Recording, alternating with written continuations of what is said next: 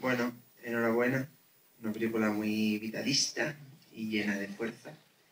Pues eh, dos preguntas. Una, ¿de dónde vino la producción? Porque se ve que es una mega producción con muchos recursos. Y, la segunda pregunta es, ¿qué distribución va a tener la película? Si, ¿Cómo se va? Si va a haber una distribución a nivel europeo.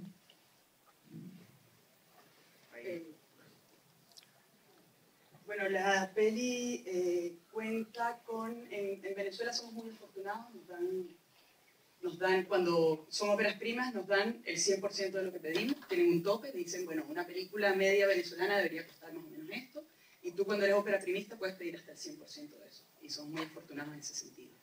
Luego contamos con el apoyo de una productora del Estado que se llama Fundación Villa del Cine, que nos apoyó en un montón de cosas. Teníamos coproducción con Argentina y con Cuba eh, teníamos apoyo del programa Ibermedia. Y al final, tampoco es una película tan cara, ¿eh? O sea, es una película para, para el, digamos, la industria venezolana, es una película media.